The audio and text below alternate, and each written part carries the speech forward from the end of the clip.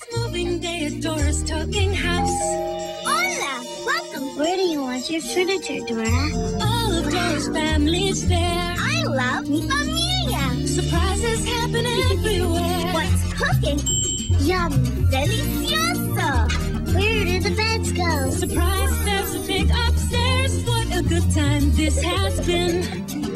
Dora and her family are all moved in. Dora's Talking House comes with all this, other figures and furniture sold separately.